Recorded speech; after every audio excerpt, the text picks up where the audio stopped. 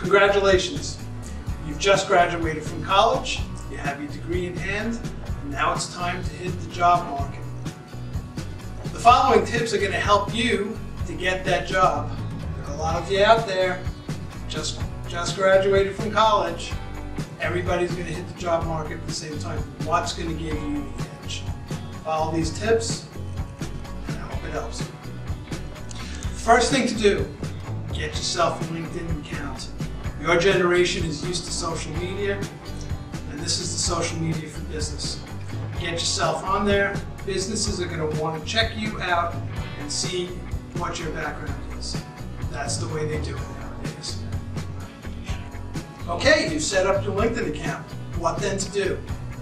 Start contacting executive search firms. My recommendation, contact five per day. After two weeks, you're going to have 50 companies looking specifically for you for positions in your field of choice.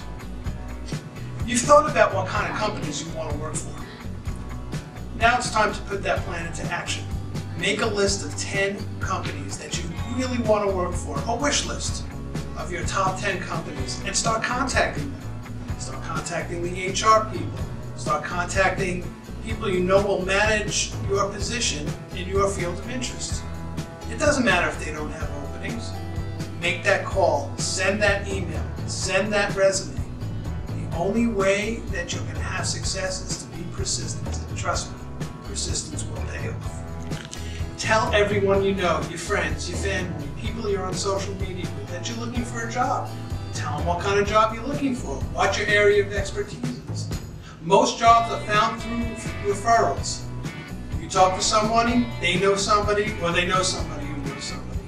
Referrals are the way to go.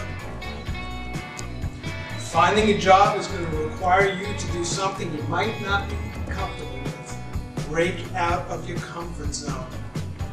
Right? Your generation is really the first generation that's more used to talking by text or social media than uh, any generation that's come before it.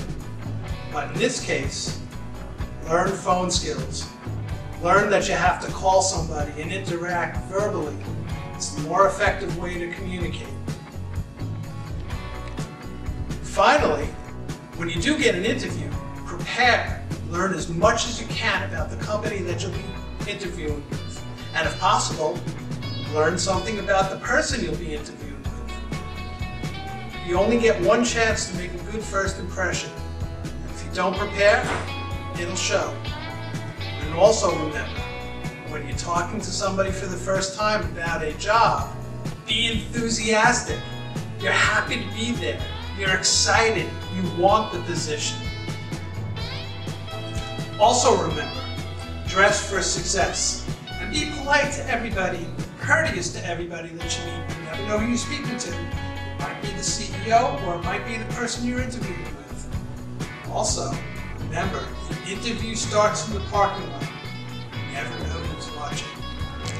Last bit of advice I can give you, don't get frustrated. I know it can sometimes be a long process, but it'll be well worth it.